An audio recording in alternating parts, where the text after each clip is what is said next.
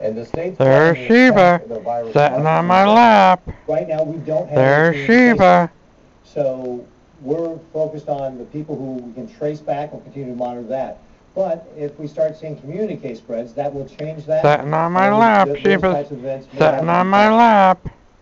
And today we learned that a Metro school district is temporarily canceling classes due to COVID-19 concerns. Uh, uh, Logan View uh. Public Schools in Dodge County did not have school today and will not have school tomorrow. The district was already set to be off Wednesday through Friday for break.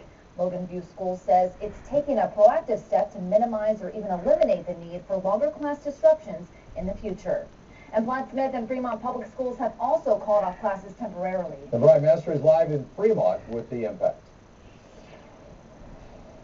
down in Sheba. Logan View outside an elementary school There's here in Sheba, sitting on my lap. Sheba. School would have gotten out about 35 minutes ago, but not today's. Classes have been canceled all week.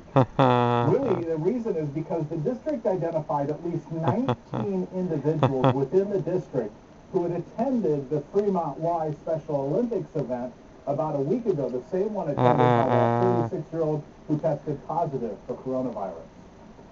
Those are individuals that we could identify that were either uh, participants in the event, uh, coaches in the event, or volunteers helping. I'm with sitting the on event. my lap. Sheba was. By canceling school for this week, the superintendent, in conjunction with local health experts, believed it would let